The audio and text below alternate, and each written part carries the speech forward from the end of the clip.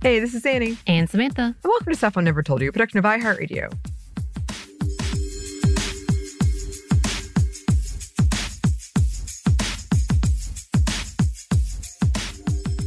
And welcome to another edition of Book Club, Pride Month edition. Although we we do talk about this stuff all the time. Right. So uh, I will say this is a pretty recent book. It came out in 2016. Uh, so spoilers if you haven't read it. Uh, we are talking about Gabby Rivera's 2016 book, Juliet Takes a Breath. It is an award winning book. It's really highly reviewed, that it was partially inspired by Rivera's own coming out and feminist journey at the age of 19. And it is a really great coming out story. It's a great coming of age story. It's a great figuring out your whole deal story. It has themes of family, of being Puerto Rican in America, of trying to like learn and grow, but also realizing what doesn't work with you and and finding your own voice. By the way, we have talked about Gabby Rivera before because she also wrote the solo series America about America Chavez for Mhm. Marvel. Um, so we've done two episodes on America Chavez. Check those out. Who is, and this is a quote from Rivera's website, a portal punching queer Latina powerhouse. So, uh, also, uh, Rivera hosts Joy Uprising, which is a podcast that, quote, brings together her favorite revolutionary humans to honor joy in a chaotic world. So that's cool. And this work was adapted into a graphic novel. And we were just talking about that. Uh, I don't think that episode has come out yet, but we were just talking about how we enjoy graphic novels that don't um, necessarily fit into what you might think a graphic novel should look like. So I think that's really cool. Uh, so let us get into the plot. This story largely follows queer Latinx teen Juliet, who has grown up in the Bronx surrounded by her family, like has never left the Bronx. Uh, during her first year of college, she discovered the book Raging Flower Empowering Your Pussy by Empowering Your Mind by Portland, Oregon based white feminist Harlowe Brisbane. Or Brisbane. Uh, it was a really important book to her. So she writes to Harlowe. That's how the book opens, explaining how much it impacted her, how many questions she has, and asks for an internship. Harlowe offers her one for college credits, uh, where Juliet would be helping with Harlowe's next book. At the same time, Juliet is struggling with deciding whether or not to come out as a lesbian to her family. She is in love with her girlfriend and she it's weighing on her that she hasn't come out. Uh, she does come out the night before she leaves for Portland, and it has mixed results. Uh, but especially her mom is not cool with it, calling it a phase and kind of walking away and closing herself off. So Juliet goes to Portland, is picked up at the airport by Harlowe, who is immediately like a hippie, astrology, aura, white woman. Um, from here, we learn that Juliet has anxiety and asthma. And when Harlowe changes the assignment to, uh, it's still for the book, but she changes the assignment to to tracking down women based on scraps of information that Harlowe has collected over time. Juliet freaks out, uh, only compounded by the hostility of another person staying with Harlowe named Finn and the general lack of people of color.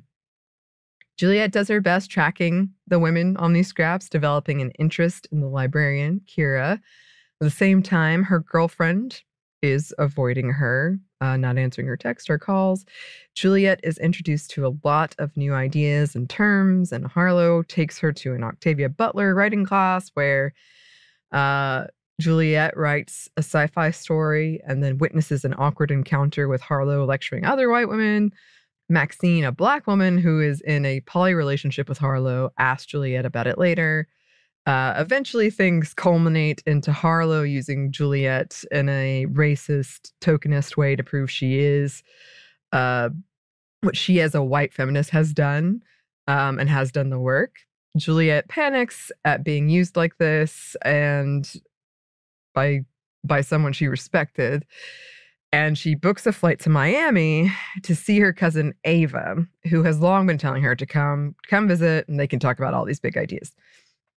There, Juliet reconnects with her aunt, who her mother claimed was gay, and Ava, who answers her questions about a whole host of intersectional feminist topics. And Ava takes uh, Juliet to a party for queer people of color. While there, Juliet feels happy and free. She leaves her ex a message because, yes, by this point, they have broken up. It was like a letter that her ex sent her. It was like, I found someone else uh, we're broken up. And then her ex responded again and was like, I made a huge mistake.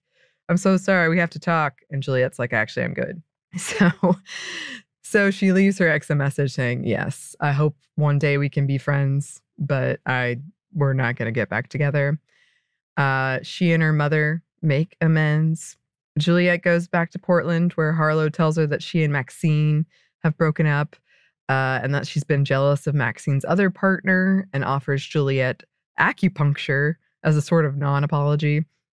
Uh, Juliet talks to the to the people of color like Maxine about Harlowe and eventually confronts her, uh, telling her how much that whole thing hurt her, how racist she'd been, how Juliet felt guilty for not saying anything, but that Harlowe's work was important to her.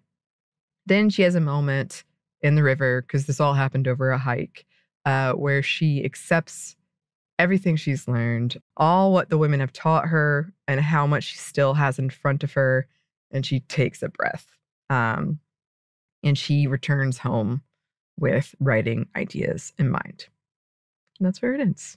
So there are a lot of big themes in this book. Uh, one of the biggest is feminism. Here's a quote from the opening from the letter that Juliet writes to Harlowe. But I'm writing to you now because this book of yours, this magical labia manifesto, has become my Bible. It's definitely a reading from the book of white lady feminism, and yet there are moments where I see my round brown ass in your words. I wanted more of that, Harlowe, more representation, more acknowledgement, more room to breathe the same air as you. We are all women. We are all of the womb. It is in that essence of the moon that we share sisterhood. That's you. You wrote that, and I highlighted it, wondering if that was true. If you don't know my life and my struggle, can we be sisters? Can a bad white lady like you make room for me? Should I stand next to you and take that space? Or do I need to just push you out of the way? Claim it myself now so that one day we'll be able to share this earth, this block, these deep breaths. So I like that, like getting to the end when you know what happens, both with Harlowe, but also with the like taking a breath, that whole theme throughout. That she she takes that breath at the end, and that does, you know, from the second you read it, you're like, oh no, don't meet your heroes. when you're like first introduced to Harlowe, you're like, oh no, no, no, no, I, ooh, uh, which leads us to white feminism and racism, which is a big topic of discussion in this book. Uh, here's another quote Harlowe made it seem like those white girls had to give us something, I replied, turning my head up a little, like as if we couldn't do our thing without them. See, you get it, she said. She being Maxine here. Space isn't theirs to give to us, nor is Harlowe separate from those girls. They are her, she is them. White allies need to keep that distance out of their community education.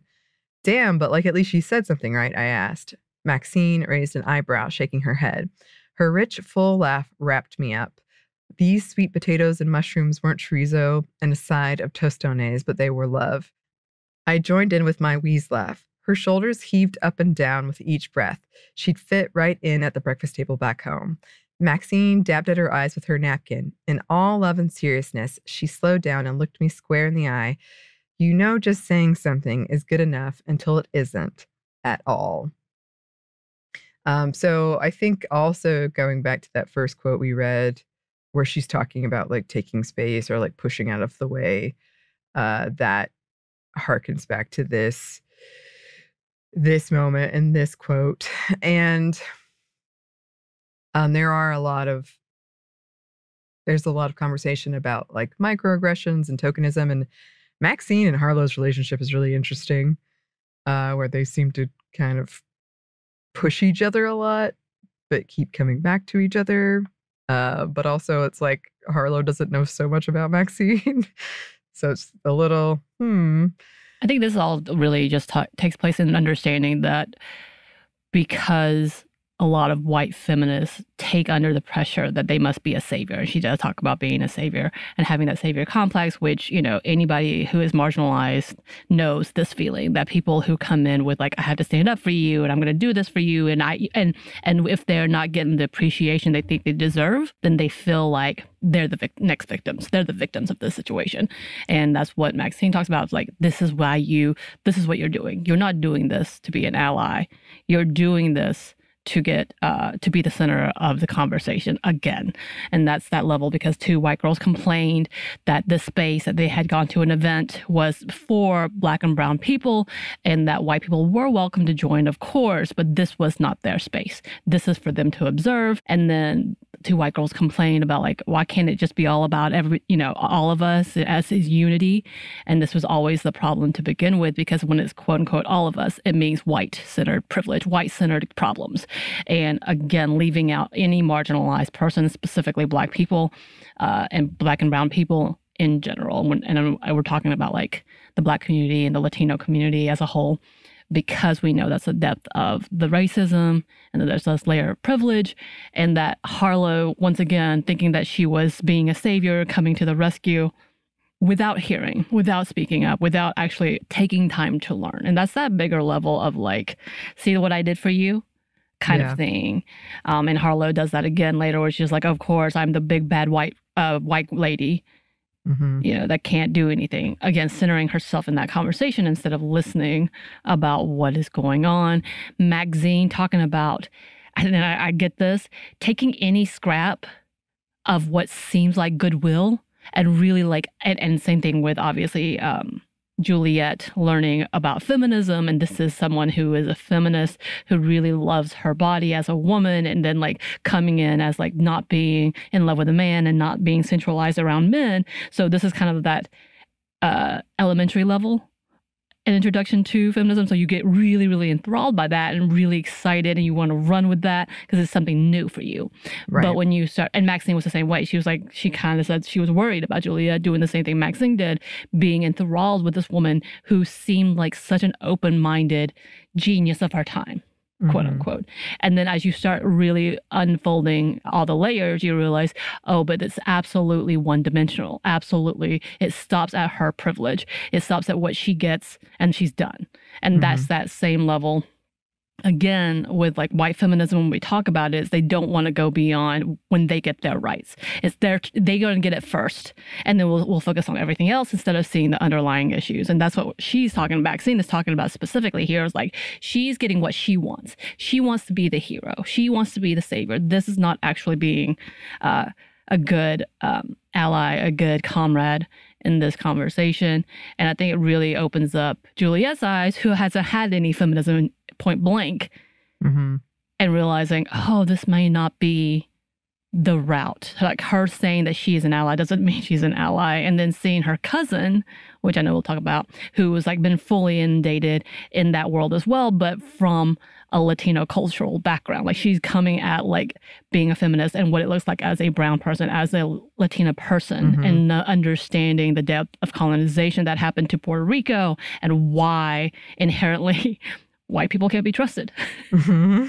and I mean, I'm going to say that out blank because that's kind of that level. Is like the heroine that she thought Harlow was actually ended up being someone who was just as aggressive, just microaggressive in the ways that she was being welcomed into this community. Right. And I feel that it was such a great depiction of um because we've talked about this when you go to college and you realize like oh I didn't know about this or oh I didn't know about this and you want to learn more and um Juliet is such a fun character in that way because she's she describes herself as very bookish like she wants to learn more she gets this list of um, books book suggestions from Ava and it, like seeing her learn more about her culture and what happened and like the confrontation she has with her white girlfriend of about banana republic yeah. I was like yeah. It, it was just it felt very that experience of when you go to college and just you meet people and they open all these doors for you and sometimes they've been there that whole time and you've just never asked them the question. Right. Um, which sort of ended up being the case with ava who yes we will talk about. I love that.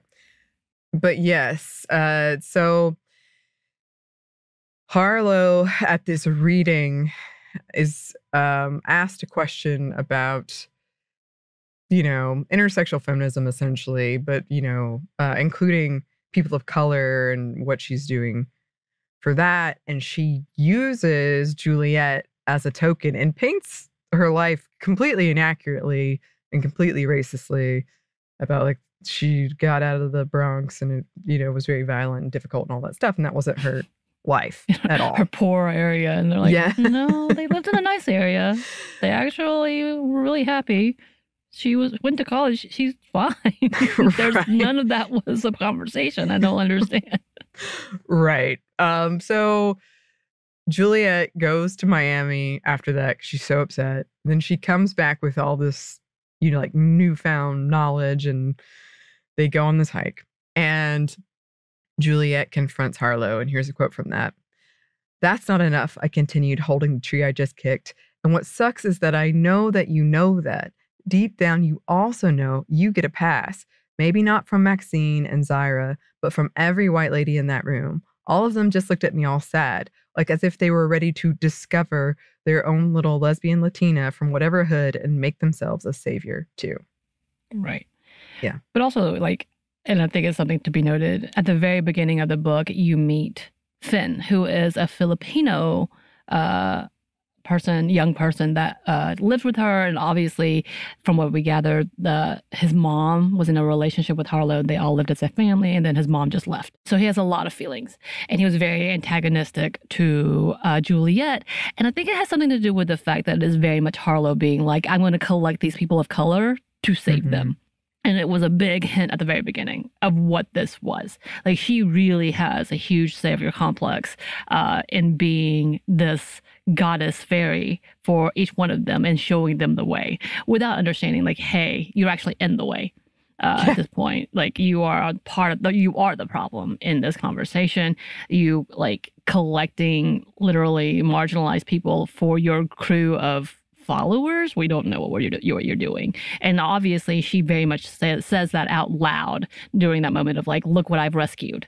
As if she, as if Juliet was a puppy from a pound, and mm-hmm. Juliet finally like she's having and I loved I loved how well uh, Rivera played this in that insecurity of finding your voice because you know you're too insecure to speak up because you're just learning and you know you're in a powerhouse full of people who have been in this world for a long long time. Also you're in Portland and I can't imagine the like juxtaposition of being from the Bronx coming to Portland because yeah. I, I couldn't imagine myself. But like having that and then trying to figure out your voice, being 19 with all these middle aged women who are talking so many new terms, whether it's polyamory or whether it's about um, gender pronouns. And this was in the early 2000s. So this is my age range. I was like, oh, this is lovely. This I know this. I know this feeling of being new and traveling by myself or being somewhere new by myself in the early 2000s, trying to figure it out where everybody was somewhat accepting, but there was no actual terms for things. Like it was all very new. And it was so new that people were scared of it. Like this was during that time. And so I loved seeing that perspective that she put uh, onto her character, Juliet, which she understood very well because she was like walking into a whole new environment completely and trying to learn. So it's trying to find their voice. And that soul like moment with Maxine, where Maxine's like, you knew something was off, but you didn't know how to phrase that. You don't know what is off. And I think I, I again, like I'll talk about like I'll feel that way when people are saying things to me like your English is really good or all these things, and I'm like, this feels off. I know you're trying to be nice to me, and you're trying to get to know me, but in a weird way because you would not ask any white person this question. So I'm very confused, um, especially with my accent anyway. But like her learning all these levels, but not being able to say it because you're just trying to fit in. You're trying to be appreciative of being noticed, of being talked to, being like being a part of something in general. So like having her come to that point of being like, non pissed. You know you're wrong. And you know that in between this, if they saw this, they would paint me as the aggressive person, again, from the hood, as you try to put me, uh, while you were just being so nice and kind and helping a young girl out. Like that's literally the picture that you portrayed. And you know how wrong that is. And you have not said, I'm sorry. And you've not made a public uh, apology and understanding and admitting that you are wrong. As in fact, you've like doubled down by saying, look, I'll introduce you to another Latino person. Uh, you're welcome. Mm-hmm. I found one of your kind, essentially, is what she's saying. And I want to put this in here. And I know I'm going to get some people get real mad at me when I say this. But in conversations, when you see this of people with good intentions, and you are a person of marginalized community, and you're trying to come in and figure yourself out, and I say this as a person who's trying to figure myself out, there are moments when you kind of wish that you're like, I have too many white people in my life. and you're like, I'm a, I'm gonna have to, I'm gonna have to back off because instead of trying to help you discover who you are, in this whole space, in this space of intersectionality, they try to tell you how they're going to help you, but it's all again white centered. And this is what Harlowe was doing to Juliet. And thank God Juliet was able to meet Maxine and Zara as well as her uh, new flame, which I'm sure we're talking about, Kira, of seeing different perspectives on what was happening because she needed that to unfold the rest of what was missing in her life, like the rest of the un, like learning and unlearning that she needed to do. And her own uh, cousin Ava, thank God, was is a part of that too. And how much they realized with each other, like they really are have common ground and maybe even her little brother that we find out later on and i think that's beautiful but that this is that conversation that is so real to me that i'm like yeah yeah it kind of gets to the point of like white allies mean well, but they talk so much that they don't realize this is more hindrance. And this is where white feminism gets in the way. Listeners, I love if you are a white person, please don't think this that I'm saying this as an attack, but just coming from an all white space as I have, and I'm telling you, it's an all white space, as in like my family, uh, in all of that, you realize what boundaries that they put in front of you, or sometimes, you know, what kind of um, obstacles I put in front of you because of their good intentions. But it doesn't, it's not, it's not in the end that great. And this is where we see with Harlowe as well.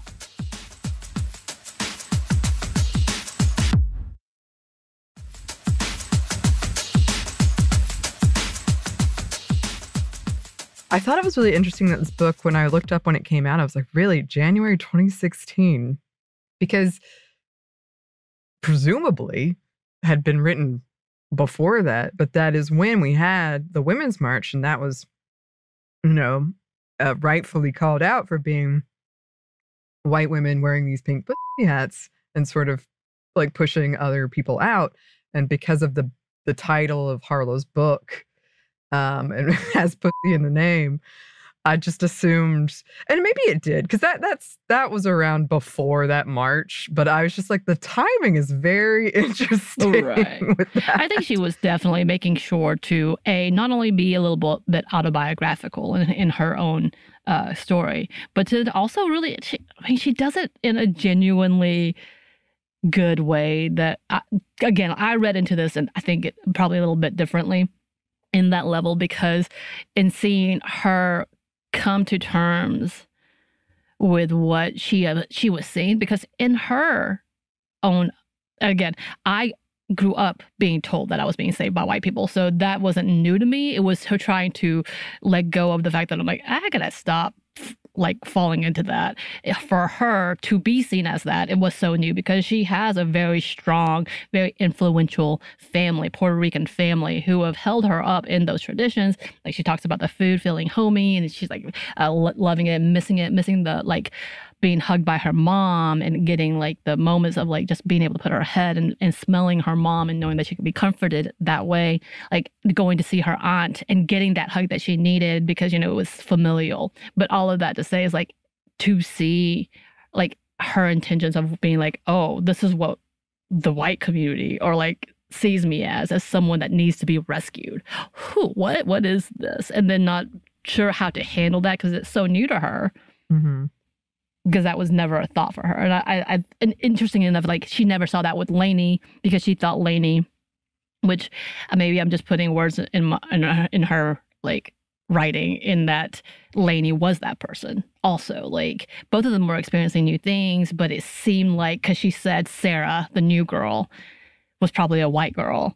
And she now she's got to what she wants that she can show presentably Mm-hmm. As a better representation for being a, fe- a good feminist lesbian. Right.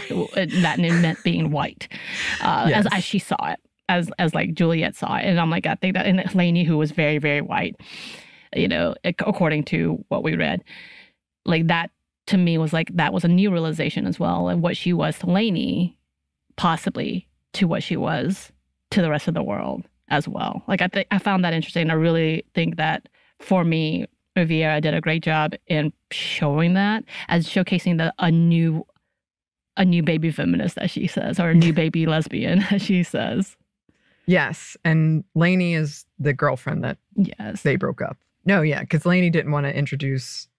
She was scared to introduce uh, Juliet to her like suburban white family. I think we were we have a quote about that later.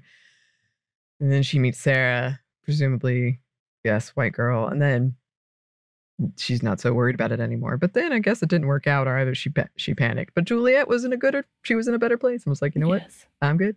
Um, she found her roots she did. she said She did. Uh, I did want to include this quote. This is from when Ava and Juliet are just having their like amazing back and forth about feminism and thoughts about feminism. Uh, when Juliet goes to Miami, and one of the criticisms Ava has about the book is kind of the um, emphasis and preference uh, placed on like periods and all like that stuff. So here's a quote.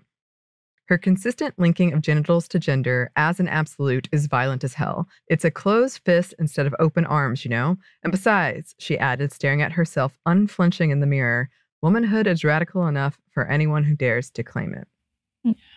Yeah, i Yeah. like that like kira said that too kira said that she is very focused on women like she doesn't like she equates women and a vaginas in the story in this and Mhm. not allow for the in-betweens and and just being like the goddess has been feminine which feminine could be all across all genders and we know this but like in general like she specifically aims to women equating that the only way a woman is powerful is through their vagina and, and uterus and and again it is very problematic especially in a world where she is supposed to be a leader for the queer community and you're like you are leaving out a lot of the lgbtqia plus peoples and you uh, are excluding when you're saying you don't want to exclude Yes.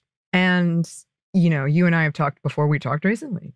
Not everyone who identifies as a woman has period for multiple reasons. right Um, and also like I do get, we've talked about this too. There's something in our culture and our society. Periods are taboo. We don't talk about them. I do get trying to like, let's talk about it. It's let's. Uh, there was period pride was a huge thing a while back, mm-hmm. but in doing so, if you're like leaving out everyone else, if you're not, if that's your main focus and you're not talking about anyone else, then you're yeah you're excluding a lot of people right a lot of people. Which kind of leads us into the next theme I wanted to talk about because there is some uh, there's uh, elements of homophobia in here of because clearly Juliet is how the book starts is she's really nervous about coming out to her family. And so she she's like actually going back and forth about whether she will at all. But then she finally does it kind of just comes out of her. Like she says it and everyone kind of doesn't believe her or is like, oh yeah, I've used that old excuse too. like, but then she she says it outright after having a very sweet conversation with her little brother, right where he's very like, no, you got this. So she she does it, and then, like I said, mixed results. Um, but her mom was definitely the one that was the most like, oh no, this is not correct. Um, So here's a quote from her mom. It's this book, isn't it? This book about vaginas has you messed up in the head and confused, she said, looking past me, anywhere but at me, her voice heavy but not angry. My father reached out for her hand and held it. No, it's not Raging Flower. I love Lainey. It's never felt like this with a boy, I said. Tears betrayed the tiny bit of strength in my voice. Little Melvin bowed his head low, his cheeks flushed. He nudged his knee into mine and kept it there. I pushed my plate of food aside. Mom and I stared at each other, and I felt like I was falling. But Juliet, she said, you've never had a boyfriend, so how would you know? All you know are these neighborhood boys. You haven't give any of the boys at your college a chance. You might like Lainey, but it's not the same thing. I promise you that. Love, I love her. You don't know anything about my feelings. So that's how it went. And this was her like final night before she left. And I think like in that conversation, because this is a fairly quick read, I would say, packs in a lot. Um, mm-hmm. and a lot of the the stereotypes are kind of responses people get in my experience when coming out that it's a phase you'll grow out of it mm-hmm. of course it's a trend i do kind of it it cracks me up this whole like you read this book and now you're gay because that's what they use to like ban books a lot of times where people because the percentage of LGBTQ plus people is higher than ever people think it's like books or whatever that's turning them gay. But as we've said before it's it's more likely that they've just know this is a thing now. Right. And they might not have before Rivera has like a interesting comparison uh, where Juliet is thinking about not being Puerto Rican enough, like how right. she'd gotten people saying she wasn't Puerto Rican enough for not liking or not knowing about certain music or about certain things, and how having that experience made this make her feel like, oh, okay, well, maybe I'm not gay enough. And then that's compounded when she goes to Portland and she learns all these new terms in the world of feminism and like maybe I'm not feminist enough, like all of those mm-hmm. things. Right. I mean, in both of those situations, yeah, she's talking about being tested. Yeah. And then we I think we can know that when anything, we're like, I'm a fan of this band and you're yeah. like, oh, you are? Well, tell me, name three songs. You know, like just right. stuff like that that we see. But when it comes to your identity and you're like, what the hell? Why do I have to prove myself? I exist. Like I'm, right. I'm, I'm, here. I don't I don't know how else to tell you. Like I deal with the same microaggressions that you do and assumptions that you do. I literally I laugh because the other day I had someone ask me if I like being here, and this is y'all. This is for real. And I was like, what do you mean? You mean like where? What now? And I kind of bypassed that question. Then he asked me again, like, do you, you like being here? And I said, where? Decatur? And then he was like, no, the U.S. And I was like, oh, uh, I've been here. Like, I like, and he like tried to backtrack. And this was a younger dude. And I was like, are you are you kidding me? Like, I just wanted to get my car washed. I'm not really sure where that came from, but okay. Uh, but like being tested and being told that at the same time, being like, but you're not really like that. That level of conversation. The same way with feminism is like, but are you? Do you support these things, or do you not support these things, or do you vote this way? Have you done these things? Are you part of these activism? Are you like, are you have marching you in the streets every book? day? Like, yeah.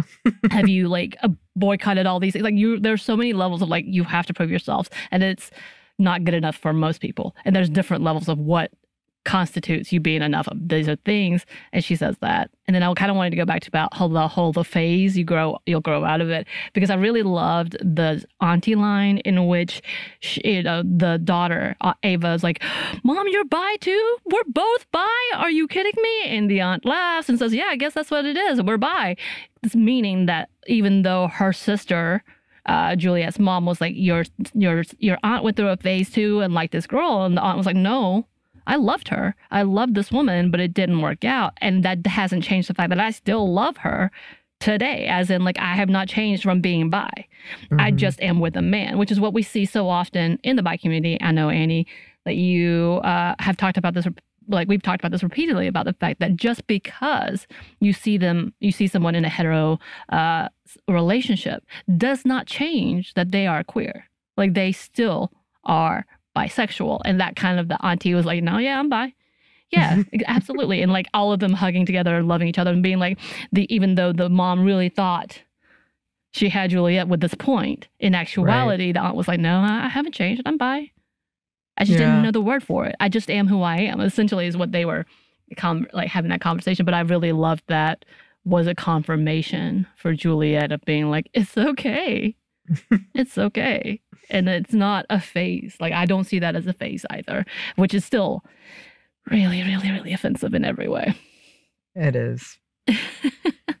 uh, here's another quote. It says, Titi Wepa didn't move. She stared hard at me and said, You were born in the middle of the night on a Monday, September 6, 1983.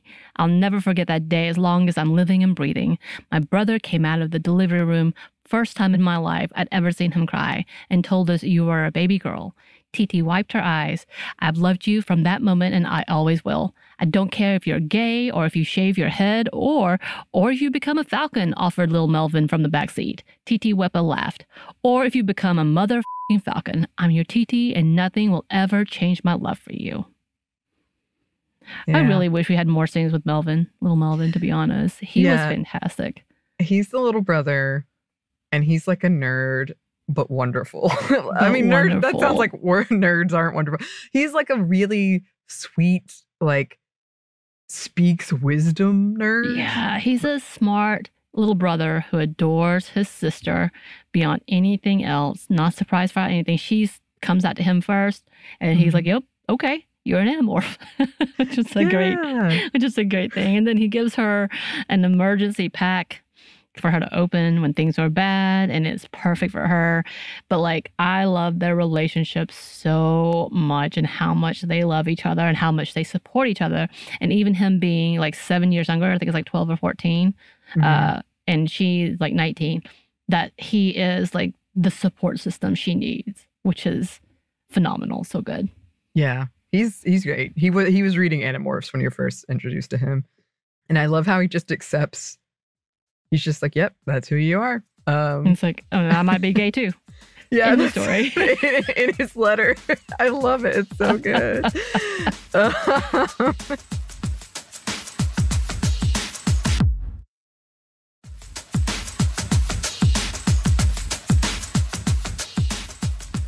I did want to speak to going back to that kind of like you're not enough worry uh, when it comes to to I think a, a, lot of things, but in this case, like being queer, but also like the whole feminist thing we've been talking about when you don't know the terminology. Um, here's a quote. You know, I didn't know the words. No, I didn't know my gender pronouns. All the moments where I was made to feel like an outsider in a group that was supposed to have room for me added up and left me feeling so much shame. Burning hot cheeks, eyes swollen with tears that were all the words I couldn't say.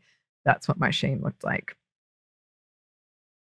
And I think like going back to so many other conversations we had, just like any other uh, group of people, there are biases within the queer community. And um, yeah, if you're new to it, it can be really scary when people are like, Have you read this? Do you know this? Do you know this term? What is this? And so when she's kind of bombarded with all of these things she's never heard of. And then that can make you feel even more doubt, like, oh, I didn't even know about that. but right. as you said, when she goes to visit her aunt and cousin in Miami, she's like, oh, yeah, I didn't know that was a word for it, but yep. I love the relationship. Mm-hmm. Goes on, your one job is to just accept what a person feels comfortable sharing about themselves. No one owes you info on their gender, body parts, or sexuality. Yeah. I liked that.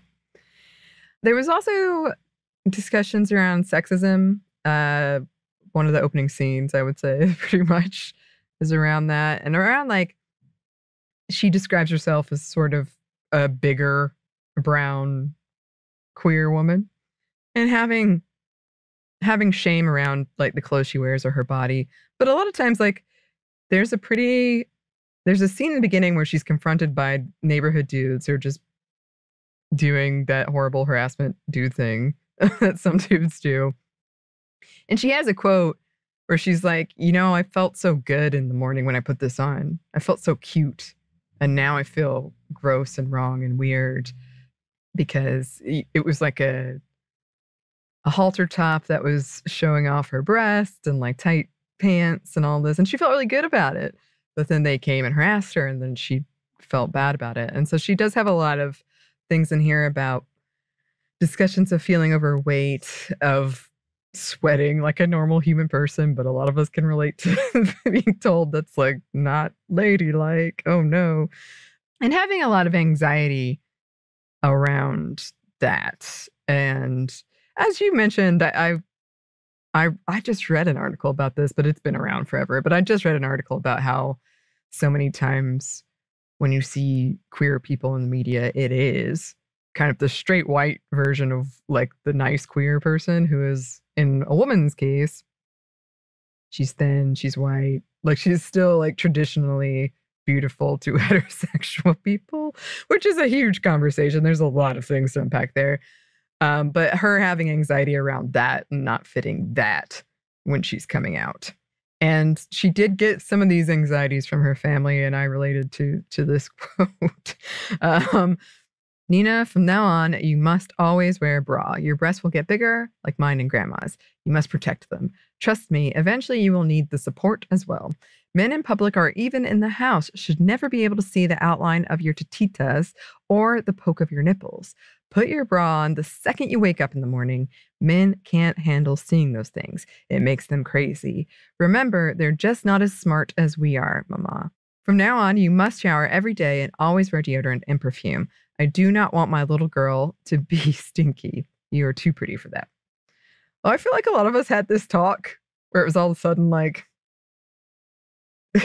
you got to smell nice and you got to wear this and you can't wear this. And I was not allowed, I, I had to talk in my house. I was not allowed to go out without a bra. And I hated bras. So it was just really annoying. But then it kind of gets in your head of like, oh, yeah, men can't control themselves. And when, which I'm saying in terms of what people are telling you. And then when she Juliet is about to have her her coming out situation with her family. She describes the harassment incident she'd gone through with these dudes. And some of the people at the table were like, "Oh, it means he likes you," or "Oh, it means yeah, that's just them, whatever." So that was just something I when I was reading, I was like, "Yep, heard this one." And then this one's kind of a a big mess of a theme. But I did pick up on some some big ideas about religion and belief systems. So obviously there was kind of the the white hippie aura thing that Harlowe was doing that was very about like our auras have to sync and the moon and all of this this kind of stuff that was that was present throughout so here's a quote uh, The only thing we can really do, Juliet, is to develop our own sustainable theodicies. You know, we need to create our own understanding of divine presence in a world full of chaos. My God is black, it's queer, it's a, a symphony of masculine and feminine. It's Audre Lorde and Sleater-Kinney. My God and my understanding of God are centered on who I am as a person and what I need to continue my connection to the divine, Maxine explained. She took a long breath it's everyone's job to come up with a theodicy, one that has room for every inch of who they are and the person they evolve into. Yeah. So, yes, that is Maxine, not Harlowe. But that was when they were talking about like belief systems and right because she was has a master's in divinity, yes. and so Harlowe's world is about goddesses and auras, while uh, Juliet came from a pretty Catholic background, but she also believed in God and and really had a hard time in separating that. And I feel like that's so many people in religion because I know like especially in the South, there's definitely a lot of like of the gay community who profoundly love their Christian community or their church community or their worship community and like they have a connection to it on a different level but like when of course like when you're being told this is against some something you are against our beliefs you know they have a hard time but they still don't believe that's what god is to them or who god really is. And i think that's that breakdown of like trying to figure out for yourself right. what your beliefs are and spirituality is. Yes and uh juliet did have her despite her upbringing, her doubts. Um, here's a quote I was suspicious of the Bible. It had never been particularly forthcoming when it came to stories about women. Mary Magdalene wasn't really a hooker, and Eve didn't force Adam to eat that apple. What did painting women as untrustworthy or whorish have to do with God's love anyway? Those stories weren't even about women directly. They were stories about men in which women had side roles as the mother or the second wife or the daughter for sale. The fact that I grew up in a religious household and had never heard of Sophia further proved to me that the people interpreting the Bible were misogynist and didn't care about anything a wise woman had to say. Christianity wasn't budging an inch on this quest of mine.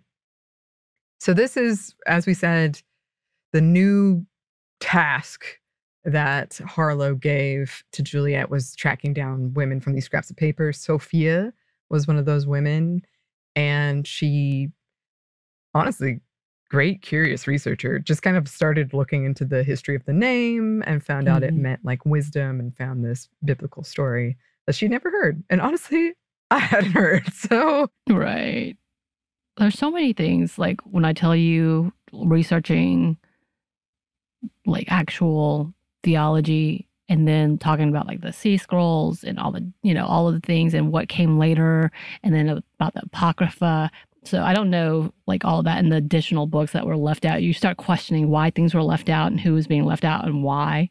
The amount of like information being taken away and you're like, who decided this? Oh, a bunch of men. Okay, that's interesting. And then you try to figure out finding those pieces and going back to it because they try to destroy so many things because they didn't like people. Yep, they liked power, but not people. Mm-hmm. And going back to that, that's pretty related. Uh, I did see a lot of themes of like gatekeeping in this, of gatekeeping of feminism or being queer or whatever, uh, based in terminology. Like, as we've said earlier, what you know, what you've read, what you, all of that stuff. And as part of this, she does get that list. And she, as you mentioned, she starts learning more about Puerto Rico that she had never learned in her American schooling. And she learns about colonization. And here's a quote about that. Maybe America just swallowed all of us, including our histories, and spat out whatever it wanted us to remember in the form of something flashy, cinematic, and full of catchy songs. And the rest of us, without that firsthand knowledge of civil unrest and political acts of disobedience, just inhaled what they gave us. So, yeah, like going back to what you were saying with religion, it, it's a very similar. this is what we'll put in here uh, for you to learn but otherwise, no. Right. When you start looking at the history of Puerto Rico and what they're trying to do, and then you start looking at the uh, history of Hawaii and what they've done, and like you kind of really question, like, yeah. oh, oh yeah, okay, hard transition, dating. Uh, the theme of dating in this. Uh, here's a quote. I couldn't even with dudes lately. All they did was talk smack about how good they laid down the pipe. Anytime I ignored them, I was both a bitch and all of a sudden too ugly or too fat to get it anyway. Neighborhood dudes sure knew how to slime and shame a girl in one swift move. Reason number 551 Raging Flower was so necessary. Reading helped me gather myself, reminded me that I had a right to be mad. It felt like my body was both overexposed and an unsolved mystery. So this is after, yeah, her encounter with the harassing dudes in the beginning. Um, but I just thought that was a great quote about, yeah, you're you're super hot until you don't want to have sex with them, and then you're like the ugliest thing that's ever existed. You're right. Every time. Yep. Every time. Didn't want you anyway. And then why right. are you talking to me? I didn't want this. why are we here? I, I definitely didn't talk to you. I didn't definitely didn't come to you. So mm-hmm. go away. Uh, yeah. And it goes on. Her heart felt far away from mine, like they were beating in different time zones or different dimensions of love. I should have asked her for her to fight for us and to shed some fucking tears over a summer apart. If I was going to spill my truth to my family, then so should she. But I didn't have those words, didn't even know I wanted those things until after she was gone. All I wanted was her in my arms all night, but the clanking of dishes, the smell of stale coffee, and the absolute hetero vibe of Westchester kept me so aware of how unattainable that was. Where could our type of love grow anyway?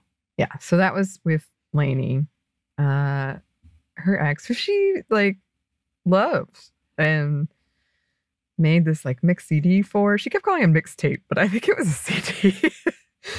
It was. It was a CD, but like you call it a mixtape. Yeah. Like that's the old throwback, especially from our generation. She's born 1983. Yes. Yes, we called it a mixtape. I was confused. Okay. sorry, I'm sorry, I'm sorry. But this was another area where uh, Juliet didn't feel like she could speak up or she was questioning Am I being too much? Am I asking too much? Am I being too needy? All of those things. Which reading it, and I'm someone who has those questions as well, I was like, no, this is. She would not respond to your Mhm. text. You can't respond to a text. A phone call, okay, but and then she got mad at her. It's like, just call me when emergency. I that's- like, no, that's, rude. that's rude. Not good. Um, She's Yeah. toxic. Lainey needed to go. did. And she did. And good for Juliet for being like, you know what? I hope you have a happy life. I hope you have a night like mine that I just had, but we're good. Discover yourself. yes. There are also uh, conversations around poly dating and what that looks like. There's the big breakup that happens that we, a lot of us, I feel, can relate to, and how miserable you feel and you can't take a shower and you don't want to eat, all that stuff.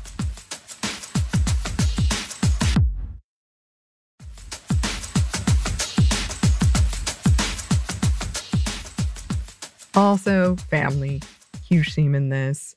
I did want to shout out all the nerd references. And now that I know Rivera writes for Marvel, I'm like, yep. Love it.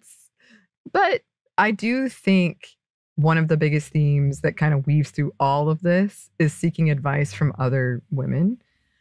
Mhm. And one of the things that stood out to me is when Juliet gets her period and like stains the sheets at Harlowe's house.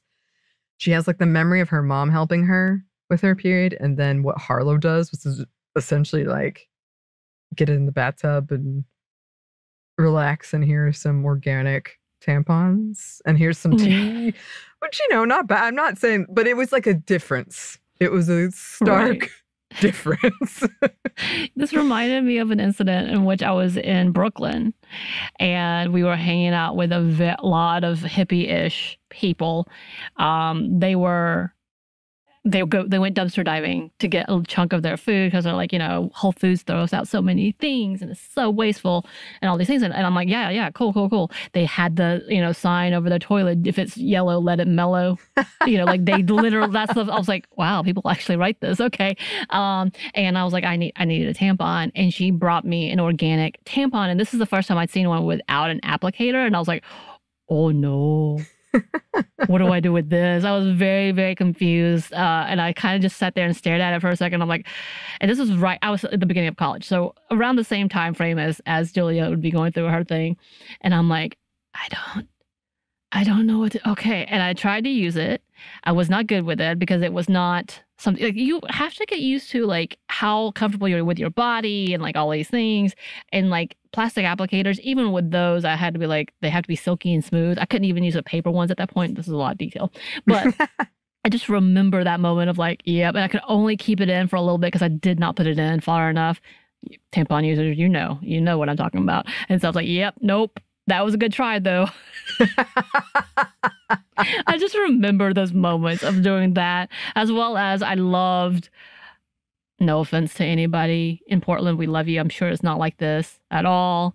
But her talking about how the uh, transit smelled was so different because, like, everybody was all about like the no deodorant and like white people having dreads and not knowing how to really care for it, like all these things. Mhm. and then all that smell and she's like yeah the bronx subway system was much better.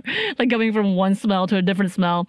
And i was like yeah because when i went to this house with all of the people that i've like i've never hung out with people like this which i feel like i'm missing out. And i was really glad to meet them. They were very kind and sweet people. But like the the, the those that was a whole new experience. I was like this is a different smell this is this body odor fresh no bathing no deodorant body odor is different is new and like i was like okay this is a whole different world like her, Mhm. her kind of jumping into that world it made me quite like i was like yup i get it and like that kind of experience for her to be like all right, what is happening? I just want you to leave me alone. Quit telling me to love my period and to like embrace this. Like, what is this? I guess I'm at least at the same time. Like, she was like, but wow, the way that you are like telling me thank you for bleeding on my mattress, that's a new level. Right. and Juliet was like, I could just, you have like Tylenol Harlowe was like, "You don't need that. Here's what we'll do. We're gonna fix it with the the breathing, and It for worked. what it was worth in, in the book, Julia for her it worked. She Yeah. like I will say so something to being like in a nice bath and being catered for. Like that's lovely, Yeah, I don't want to again. It was just the difference between was Right. like oh, kind of telling. the crash course when you're from Yeah. one world to another and trying to like. I Yes. eventually was able to use the ones with the applicators. FYI, it Okay. just took like the newness of it. yeah, it was like a whole thing and that's kind of this thing it was like for her to get this newness and then like just jumping into a different type like different way of doing things right, right. Um, but I did enjoy like going back to the theme of the, the, like all these women.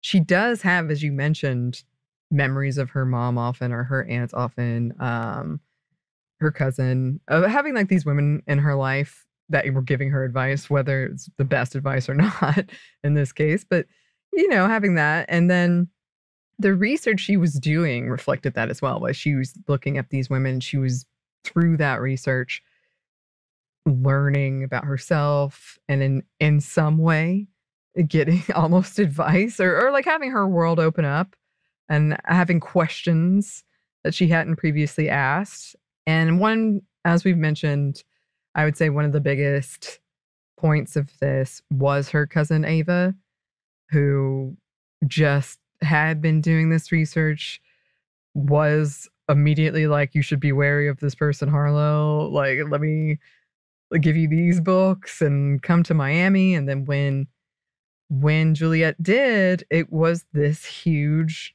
like asking questions and not being judged for it and just sharing this information and having this beautiful experience where Juliet wasn't so much in her head anymore. She was just like, I can just be curious and she's not going to judge me and I can learn these new things. And it was great. and again i think there's something important to be about that different communities look different and that's okay. Like you do learn so much from that from different areas and whether it relates to you one way or doesn't relate to you that way it doesn't mean it's wrong. And i think that's a like a bigger point in the book as well like just because she felt like a stranger in one specific community and then she felt more home in another doesn't have anything to do with whether it was right or wrong like that something is being done right or being done wrong. Like it's it's this level of understanding who you are and your identity and like understanding that culture does make a difference and makes a play into what uh, you need to hear or what you need to see and how you need to feel like a part of something. Like that's that bigger conversation. Just because you're one thing doesn't mean that you fit into all these things. And I, I mean, like in general, just because she was gay doesn't mean she fit into like all the communities. And it w- shouldn't have to be that way. Like we are individual people. That's the level of intersectionality, that there are several layers to who you are as a person. And I think that's something to remember. But it's also that she found everything beneficial. She learned so much about herself in those levels. And I think that's something that's really, really uh, well uh, presented Yes. in this book. I do too. Um, because also uh, going back to the confrontation she has at the end with Harlowe, where she sort of accepts what's happened. She Right. kind of she finds her voice and she says something along the lines of like, you know, your book was so important to me, but this was about me. Right. Like I found my voice. That was just one tiny part of it. And now I've found other people. And now I'm going to write this story and I'm going to be a voice. And like, right. I think that was really well said. Like, Yeah. And it's wonderful because it opened a door. Like it literally Yeah. opened her world to something and it was a portal, but it wasn't the end all. Like it's it, it will be significant for her always, but it's not the impact and the the Bible for her or like the instruction Right. book for her as it was at the, at the beginning. Like Yeah. she's developing herself and creating her own. yeah. Yeah. And like having that realization, be like, okay, that was like one part. And now Yeah. there's all of this. Um, and speaking of, I did think there was a powerful theme of transformation and rebirth in this. When she goes, Ava takes Juliet to a queer party for people of color. She gets a haircut. Uh, and it, it's just like a really empowering experience for her because I guess, uh, and I, I'm paraphrasing here, but she, it was like a queer haircut. Like she felt like it was like a, a queer haircut and she really liked Yeah. it. And everybody Yeah. was complimentary of it. Like everybody was like, wow, this looks amazing.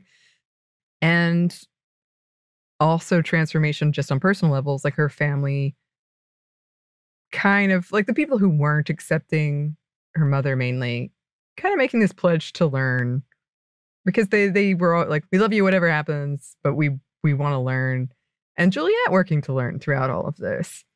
And they have this conversation her and her mom have this conversation about like what are you going to do now after the internship? And her mom brings up this conversation they had a while back and here's a quote from that you said reading would make me brilliant but writing would make me infinite which is a great quote. And here is another quote all the women in my life were telling me the same thing my story my truth my life my voice all of that had to be protected and put into the world by me no one else no one could take that from me i had to let go of my fear I didn't know what I was afraid of. I wondered if I'd ever speak my truth. But she did. She did. Um, and that it was also very radical power of self-love at the end of like, nope, I'm worthy of telling my story and of being angry and of having this voice. It was really, yeah, I really loved it. It was great. It was very good. And like I said, I think it hit on so many different levels um, with her story, whether it's just about finding her identity, going out in the world from her like small corner to like what the bigger world looks like, seeing family connecting, and then connecting on a different level that you didn't realize that you could have with your family and people around you. But yeah, it's like having that level and, and finding yourself once again, like she is finding new levels of herself. I love that. It grew from like, okay, I'm a feminist. Okay, I'm a lesbian. Okay, I'm an intersectional like lesbian. Okay, I'm a writer, intersectional lesbian. Like all these levels where she really get to like explore herself, explore her loves, explore her identities. And yeah, I think it's also beautiful that she does talk about different levels of love. She talks about loving Harlowe. She talks about loving um, Kira. She talks about loving Lainie. She talks about loving her mom. Like these different levels of love that she felt and not wanting to deny any of those but at the same time, like trying to deal with what that looks like for her and what those relationships were for her and appreciating that type of love. Like, I, I really genuinely love all of that level that she had to those relationships. Yeah, I do too. Because it takes a lot of work to hmm recognize what a love did and then kind of compartmentalize like, okay, it was this important to me, but I can I can move on from it, but also remember it. So yeah, definitely check it out if you haven't already. Uh, as always, if you have any suggestions for this segment, please let us know. You can email us at stephanieandmomstuff at iheartmedia.com. You can find us on Twitter at momstuffpodcast or on Instagram and TikTok at Stuff I Never Told You. We're also on YouTube. We have a TeePublic store and we have a book you can get wherever you get your books. Thanks as always to our super producer Christina, our executive producer Maya, and our contributor Joey. Thank you. And thanks to you for listening. Stuff I Never Told You is production by iHeartRadio. For more podcasts from iHeartRadio, you can check out the iHeartRadio app, Apple Podcasts, or wherever you listen to your favorite shows.